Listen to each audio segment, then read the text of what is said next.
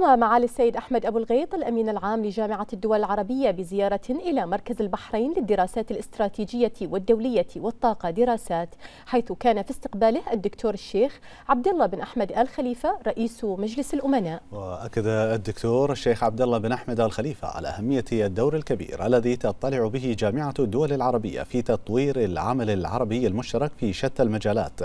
من أجل مواجهة التحديات مشيدا بدور معالي الأمين العام للجامعة في توطيد أواصر التعاون في العالم العربي ومساهمة الجامعة في إيجاد آليات من شأنها معالجة التحديات التنموية.